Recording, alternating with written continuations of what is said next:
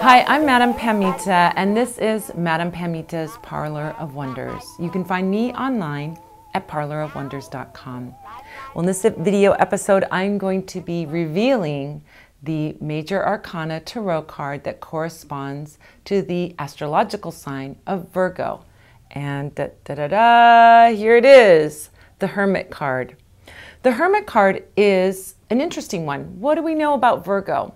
Well, Virgo is represented by the Virgin. And if we go back to the old meaning of Virgin, Virgin means somebody who is whole unto themselves, someone who doesn't need a partner, who is complete on their own. And so when we see the Hermit card show up, we see also someone who is complete on their own. The Hermit is definitely on his own. He doesn't need anybody else. And he's doing his study, his research, his spiritual exploration all by himself.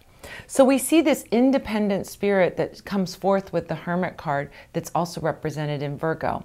There's a lot that goes along with Virgo as well. When we think about the sign of Virgo and what that means, it means someone who is diligent about research, very detail oriented, wants to make sure that they get everything right.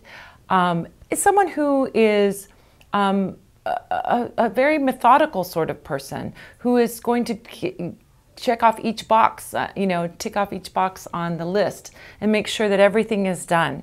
And so when we think about the energy of the hermit and the hermit card, we're looking at someone who is a researcher or research being necessary.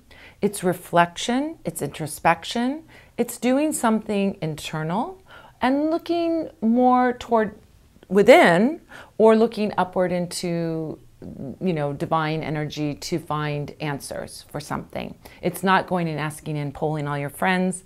It's not going and looking, it's not going and looking to experts for answers. It's looking from within or connecting to divine energy to get answers.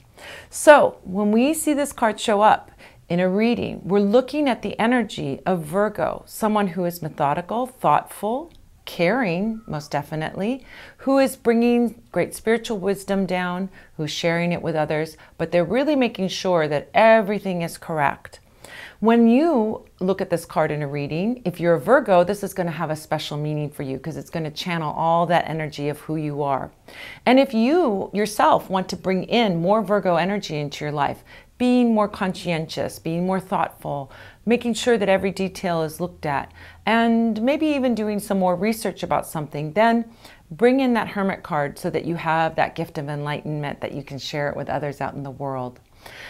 I'm Madame Pamita, and this is Madame Pamita's Parlor of Wonders. You can find me online at Parlor of Wonders. Be sure to go over there and check out all of the great resources I have there for you. I offer tarot readings. I also offer great instructional stuff instruction on tarot, instruction on magic, all kinds of free resources. So please go over there and check it out. And be sure to subscribe by pushing that button below so that you know the next video that comes out, you'll be the first one to find out about it. Thank you so much for joining me and I look forward to seeing your comments and I look forward to bringing you another video very, very soon. Take care. Bye-bye.